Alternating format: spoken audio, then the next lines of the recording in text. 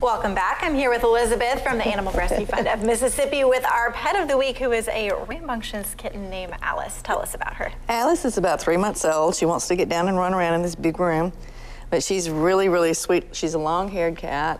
Probably has a little bit of Maine Coon in her.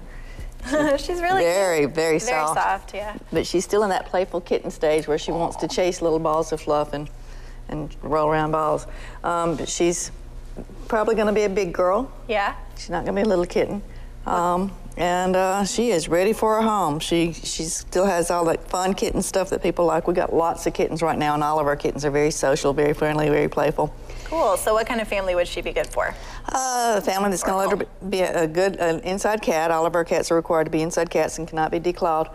Okay. But um, a family that's going to want a cat to interact with them. Uh, Maine Coons are very, very social. They can um, be s- similar to dogs. They'll carry things around and Oh, they'll fetch and stuff. Oh, and they're very, very smart cats. And she's she's a smart girl, and she wants she needs a family that wants a an active, interactive cat with them. All right. Well, and you have a lot of animals. You have cats and a lot of dogs right now. Yes. So, any fosters are always a good thing. But you guys have some events coming up too. We do. We got a fundraiser at Kendra Scott coming up on September the 21st, and um, it's going to be lots of fun. They're going to have champagne and sweets. We're going to have some puppies and kittens there for adoption, Oh. and all sales that day, um, 20% of all sales that day to go to ARF. They'll even take out of call-in orders, Oh, wow. and um, That's so cool. we'll be there from four to four to seven. We'll be back in just a little bit with more of your news and weather.